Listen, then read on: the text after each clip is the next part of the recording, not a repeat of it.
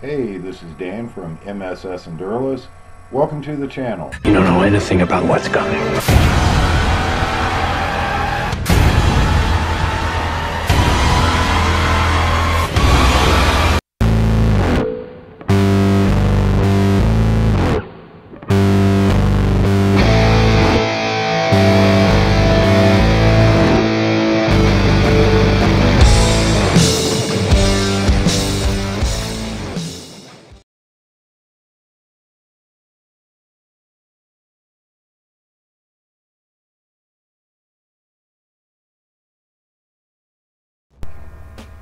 Refugees.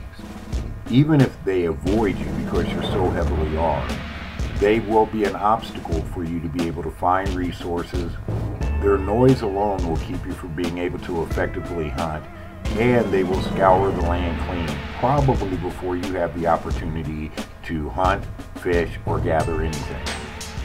Violent mobs and gangs. Remember, this is about solo bugging out. You are alone. You have no backup, no one else around you. If they happen to surround you or get a hold of you, there's no one to help you. Small, simple things like taking a tree limb to the face. It may not kill you, but in these situations, it just might. Take a stumble, break a wrist, you're done. Same goes with your ankle.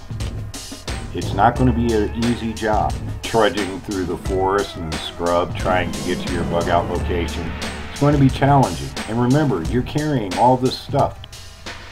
And on top of that, you have to keep your head on a swivel, watching out for raiders, marauders, if you wish, uh, refugees, any type of threat that may be coming towards you.